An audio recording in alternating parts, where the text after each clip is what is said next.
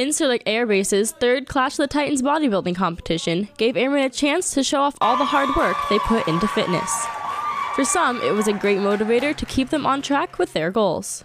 By hosting it twice a year, we try to give the competitors enough time in between to get their bodies ready or do whatever they need to do so that they're ready for the competition. As the competition approached, competitors and spectators alike were excited for the event to begin.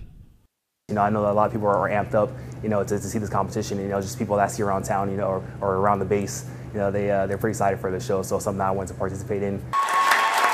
There were three separate categories: women's bikini, men's physique, and men's bodybuilding. Audience members cheered as the competitors showed off. It was a good time on stage. You guys saw out there was a good energy. Uh, the crowd was awesome, and the competitors are even better. For AFN Incirlik, I'm Airman First Class Alexis Stanley.